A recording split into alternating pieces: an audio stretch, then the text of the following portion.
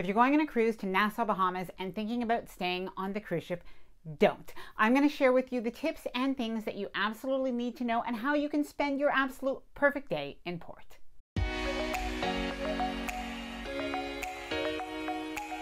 Hi there, I'm Ilana from the website lifewellcruised.com. Welcome or welcome back to my channel. Now, we recently went on a cruise that stopped in Nassau, Bahamas, and being completely honest, we were doing some research about what to do in Nassau, and we got a lot of this advice. Stay on the cruise ship, it's not even worth it getting off. But because it was actually our first time visiting Nassau, I have a little bit of a philosophy.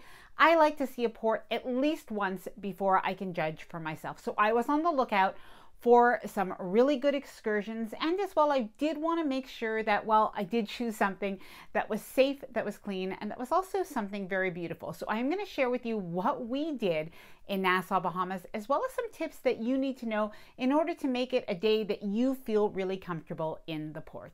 Now, before I get started, I did want to mention that if you like this video, if you find it helpful, informative, or enjoyable in any way, then please do give this video a big thumbs up. I really do appreciate it, and please subscribe to the channel if you haven't done so already. Let's get started. Now, if you're going on a Bahamas or even a Caribbean cruise, there's a good chance that your cruise ship will be stopping in Nassau, Bahamas. And an interesting fun fact prior to the pandemic, Nassau, Bahamas was actually the most visited by cruise passengers, the most visited destination in the world. And this continues to be a very, very busy cruise port. Now, the nice thing about the Nassau Cruise Terminal is the location really is right in the downtown Nassau area, so you can walk to quite a lot of things. However, like I mentioned, it is quite busy, so when you do get off the cruise ship, you will notice there is construction going on. They are building a new cruise terminal, and there is a lot of hustle and bustle.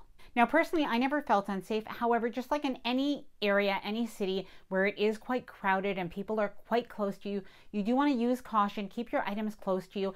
And when people try to sell you things or trying to talk to you and trying to maybe hassle you just a little bit, just say a firm no thank you and keep walking. Now, my rule of thumb when I visit a new destination is to book an excursion, whether it's through the cruise line or on my own. And our three choices in this case were Atlantis, were Blue Lagoon, which I've heard a lot of good things about, and as well Margaritaville Resort. Now, personally, I am a really big fan of Margaritaville, and in the end, looking at the price for all of the different options and what we could do there, we opted for Margaritaville. Now, I'll share with you some of the things that you'll probably want to know about the Margaritaville Resort, including some frequently asked questions and maybe some even pros and some cons. And I'm also going to share with you something that you could do that doesn't cost any money, that's actually free if you want to do that instead of Margaritaville Resort, but it is really close by. So the Margaritaville Resort is only about 15 minutes walk from the cruise port, and it is really quite a new resort, just about six months old at the time that I'm filming this video. Now, we booked this resort on the website Resort for a Day. This video is not sponsored, but that is where I booked it. You might be able to book directly on the Margaritaville Resort website, so you can also check that out. And I did see that they seem to be also taking people in for day passes if they did have the availability. But you do want to watch out because they could end up having guests on site and they may not have room for you if you do not book in advance. Now, when we booked this online, we did need to pay a small deposit and the remaining balance was due upon our arrival. Now, something to note is they did not accept any cash on site, so we did need to pay with a credit card or a debit card. And as well, don't forget to print out your tickets. Now, before I show you a little bit more about Margaritaville Resort, what there is to do there, what there is to eat there, you are probably wondering, how do I actually get to Margaritaville Resort? So you have two choices. You can either take a taxi or you could walk. Now, according to Google directions, it's a 12 minute walk. I would say it's probably about 15 minutes walking at an average pace. And what you're going to do is you're going to walk down at Parliament Road. Just to let you know, at the left, there is a little tourist table. The lady that was working there was very, very nice. She provided us with a little map and she told us how to walk there because it was our first time. However, I'm going to tell you right now, it is super easy. I'm going to leave a little screenshot of the directions up on the screen. But basically, you're going to walk down Parliament Street. After that, you're going to turn right on Bay Street. You're going to turn left around a road called Navy Lion Road. And then you're going to make a right on Marlborough Road. You're going to follow that road right over to the Margaritaville Resort. Now, as you do walk over, you'll notice that only the first five minutes of the walk are very busy and bustling with people. After that, it does get a lot more quiet. So once you pass the straw market on the right on Bay Street, it gets a lot quieter after that. Now, the Margaritaville Resort itself is absolutely gorgeous. You have the lazy river, you have an infinity pool, you have a beautiful beach with different beach activities that are all included in the price of your resort for a day. Now, some of the things that we absolutely loved at Margaritaville Resort were the lazy river. We spent a lot of time in the lazy river. That was really relaxing, really fun. Make sure to bring your waterproof phone case uh, with you for that. And don't forget as well that that is a really good place to keep your cruise card, your credit card, any cash you have, any ID, that is good place to keep those items safe and secure. Now, if you are interested in that product, I will leave it linked down in the description below this video. Now, something that surprised me was this resort was a lot less busy than other Margaritavilles that I had been to. So even though we had four or I think even five cruise ships in port that day, there were enough chairs for everybody to sit on. It was just absolutely great. And something to note, by the way, is if you did need to have a locker, they do have lockers um, at, I think it was $15 if you did want to rent a locker. Now, an amazing feature on this resort was the absolutely stunning infinity pool. Now, it did take us a little while to figure out how to get up to this, but there are some stairs that will take you to the infinity pool. It is adult only, just to let you know.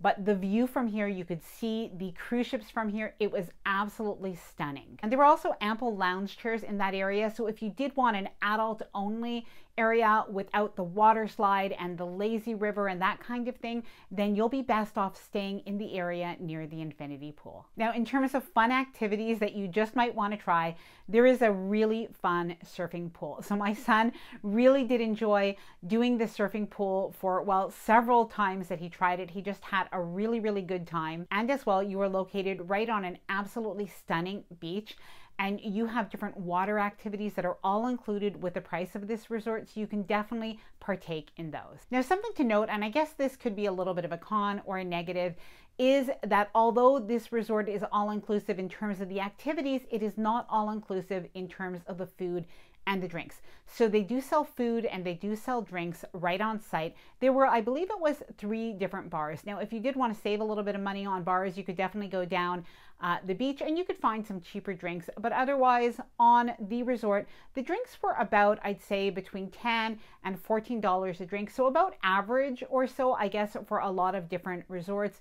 And the food also was probably between like $14 and $16 for the majority of plates. Now we had some pretty amazing drinks and some pretty good food. So I'm going to screenshot the menus so that you can take a look at this and I'll screenshot some of the drinks as well. We definitely did enjoy our day here. Now, something that I didn't know, but I think could be a good tip for you if you are going there, is they actually provide towels for you. So I didn't actually need to bring my towels from the cruise ship and drag them along, but I did.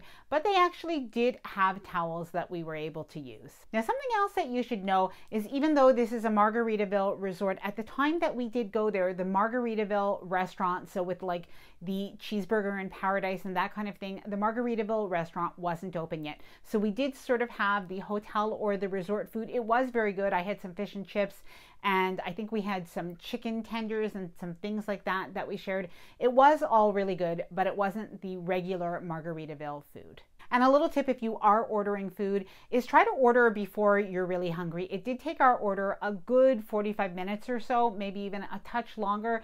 So do remember, especially if they're busy, try to order your food a good half an hour to 45 minutes before you think you'd like to eat. Now, I mentioned earlier in this video that I was also going to share with you the free option that is right nearby.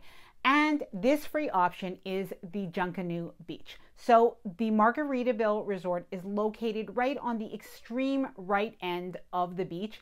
And if you walk further down to the left, you're going to have the Junkanoo Beach. So basically, they are attached. Now, we did walk down the beach because I wanted to see what it was like in case this was maybe a good option to come back in the future because of course there's no cost to it and if you didn't really want the resort and you just wanted the beach this is definitely a good option but i'm going to give you my honest opinion the water was absolutely beautiful so if you were there for the beach for the color of the water for the sand gorgeous, definitely go.